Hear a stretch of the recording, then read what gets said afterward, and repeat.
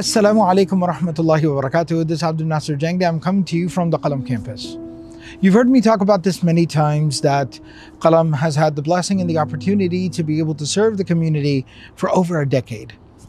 I wanted to reminisce about that, kind of talk a little bit about why we started doing what we what we do. Well, we started out for the sim- very simple and straightforward reason of why we still do what we do, and that is we believed that the world can be a better place. And we believe that the secret to making the world a better place is for everyone to know the Quran and the life of the Prophet. That the more people understood this beautiful religion, and the more they believed in it, and the more they practiced it, and the more they exemplified it, the better they would become. And the more good people we got out there, the better of a world that we have. And that was the hope that we had. And that is what we see from the life of the Prophet. and that is what inspired and motivated us.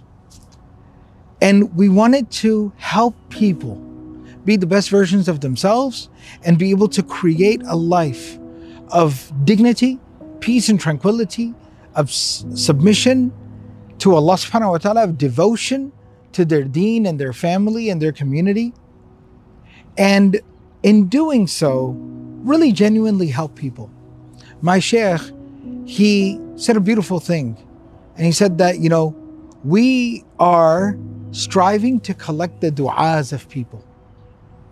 So try to trying to do as much good as we can, to have as great of an impact as possible and help as many people along the way.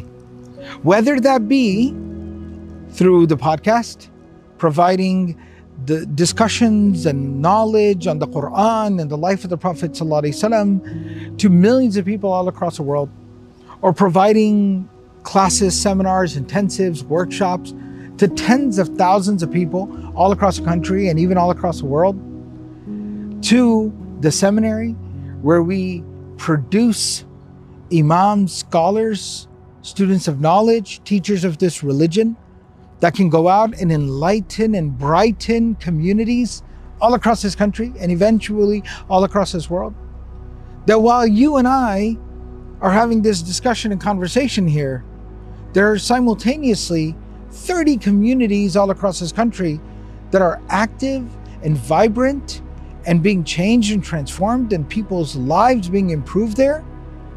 While I'm standing right here, because those were graduates that studied at the seminary and went out and are now bringing so much benefit to their communities. That was the vision that we had. That was the dream that we saw. That's what inspired us. And alhamdulillah, thumma alhamdulillah, what we initially dreamed and what we saw, we're living it today. And this is what many of you have contributed to. And now, what I want, want to ask all of you to contribute to is the vision that we have for the future.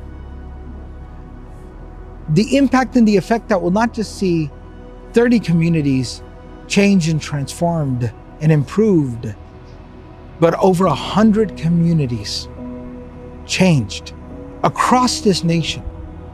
That when the benefit and the work going on in these different communities will start to touch one another and overlap with one another we will see a national change and transformation. That is the vision that we have.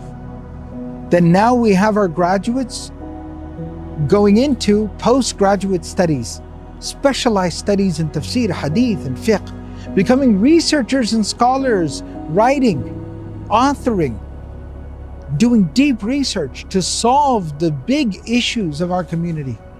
That's the future. That this place will become a place from where the nation's problems will be solved. That's the next vision. That's the next dream. And I can already feel that it's within reach and grasp. And that's what we're striving for. That's what we're working for today. And that's what I'm asking you to be a part of. So please go to supportqalam.com. Join us on this journey.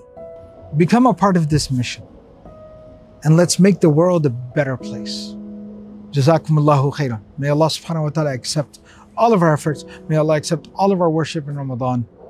Barakallahu fikum. Wassalamu alaikum wa rahmatullahi wa barakatuh.